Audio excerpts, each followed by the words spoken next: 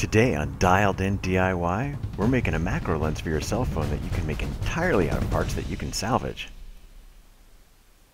The first step is getting a lens you can use. In a previous video that we did, which is linked in the description below, we took apart a disposable camera and I mentioned that you could use that lens. Well, there's other cameras you can use, and I did in this case. There are many quick and easy ways that you can actually attach a lens to your camera, but I dialed it in a little bit further after playing around, and this is what I came up with. I got a plastic disc, I drilled a hole in the middle, and then I actually attached the lens that I took out of the camera right onto this. The camera's lens housing for this was actually perfect for my project because my phone has a case on it, and I wanted to be able to make sure that I got the lens as close to my camera lens as possible. Well, we now have our lens all set up. We just need a way that we can easily attach it to the phone and then take it off the phone when it's not in use. The two key parts that I needed to actually make a housing for this was a piece of PVC and a PVC end cap that I drilled a hole in. There are actually two slots you need to cut into the piece of PVC. One is a bigger, thicker slot that you're going to slide into the phone and the other is a smaller slot where your little disc or the plastic piece that you're using to hold onto your lens will actually slide into that. Both of these can be done with a hacksaw, and then just use some sandpaper or other sanding devices to gradually make it fit just perfect. I drilled a hole in the PVC end cap to help hold a tension rod that I'm going to make to give a little extra stability for the lens.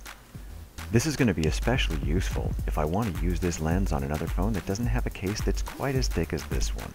So I start by putting a little wing nut on top of a machine screw that I then insert through the hole in the top of the end cap. Then I took a spring and put it over the screw so that it would give it some tension on the inside. To keep everything together, I actually had a little nut that had a rounded end cap on it. This also served to help protect the phone a little bit. I put that through a rubber washer and then put the rubber washer onto the machine screw.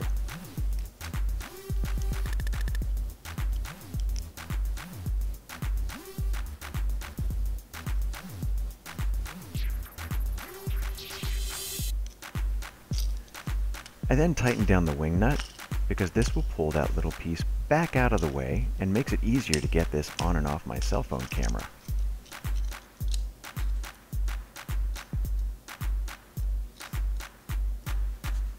Now all you have to do is slide the phone in through that thicker slot in the PVC.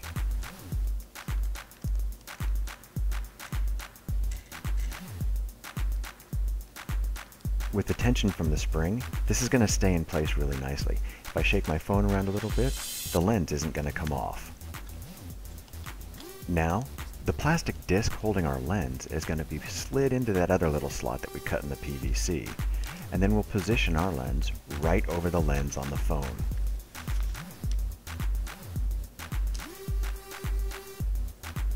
All we need to do now is test it out. First, we're going to start by looking at the focus and see how close we have to get it. You actually do need to get it pretty close when you're using this kind of a macro lens. Then, we can play around a little bit with the zoom and see what kind of pictures we can get.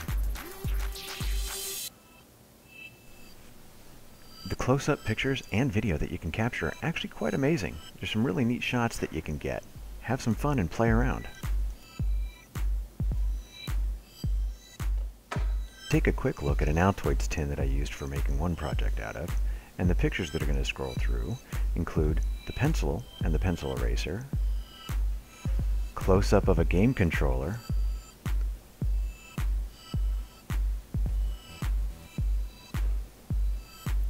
and pixels on a monitor.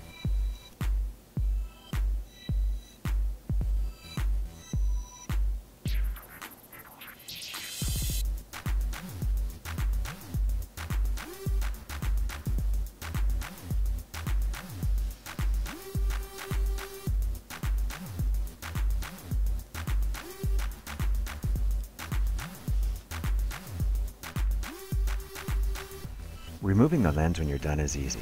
Just take off the tension and slide the whole unit right off of your phone.